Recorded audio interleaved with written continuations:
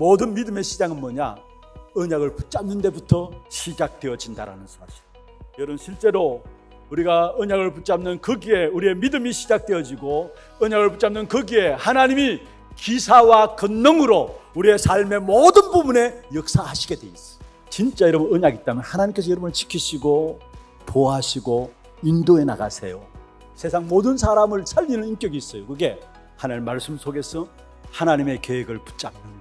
비록 부족하고 또 비록 모자란 부분들도 있고 가진 것 없는 부분들도 있다 할지라도 상관없어요.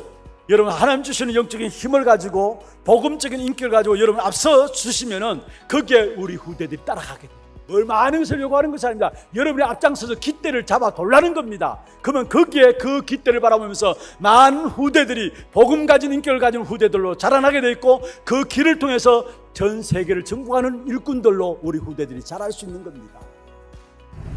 모든 것의 시작으로 주신 언약의 말씀을 붙잡고 믿음 회복하는 한 주 되셨습니까?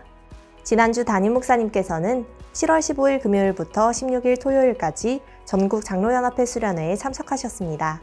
하나님의 계획 속에서 하나님의 소원을 나의 소원으로 붙잡고 하나님의 방향 따라가는 한 주 되시길 바랍니다. 7월 셋째 주 하나뉴스 시작합니다. 처음 나오신 분을 진심으로 환영합니다. 예배 후 새가족실에 방문해 주시기 바랍니다. 오늘 3부 예배는 하나 RUTC 헌신 예배로 드려집니다. 담임 목사님 일정입니다. 7월 19일 화요일 237 화요제자 훈련과 7월 23일 토요일 핵심 및 Remnant Day에 참석하십니다. 교회 소식입니다.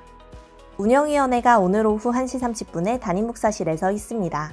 전도기획 모임 3주차 훈련이 본당에서 있습니다. 다락방 사역자 훈련은 오늘 오후 2시 30분에 237 선교 현장 포럼은 오늘 오후 3시에 진행됩니다. 새가족 수료식이 오늘 2부 예배 후에 세미나실에서 있습니다. 하나 알르티시 운영위원회가 오늘 3부 예배 후에 있습니다. 장학위원회 주관 2022년 하반기 장학생 신청 안내입니다. 대상은 초중고 대학 해당자에 하나며 선발 기준 및 서류는 교회 홈페이지를 참고하여 8월 7일 주일까지 사무실로 신청해 주시고 문의는 김은우 장로께 하시기 바랍니다. 산업선교의 원례회와 전도기획 포럼이 다음 주일에 있습니다. 훈련 안내입니다. 237 화요제자 훈련이 7월 19일 화요일 온라인으로 진행됩니다. 훈련비 입금자에 한해 당일 오전 10시 30분 본당에서 시청하실 수 있습니다. 핵심 및 Remnant Day가 7월 23일 토요일 오전 9시부터 본당에서 진행됩니다. 이때 전 Remnant 인턴십이 7월 23일 토요일 오후 1시에 온라인으로 진행됩니다. 신청 및 문의는 세계군선교연합회와 이명숙 권사께 해주시기 바랍니다. 제25차 세계 Remnant 대회가 8월 3일 수요일부터 5일 금요일까지 각 타운별로 진행됩니다. 온라인으로 등록해 주시기 바랍니다. 등록 헌금 없이 진행되는 대회를 위한 후원 계좌 안내입니다.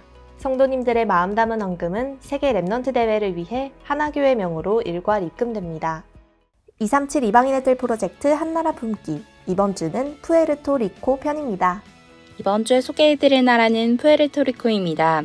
이 나라는 카리브해 북동부에 위치한 섬나라로 미국의 자치령입니다.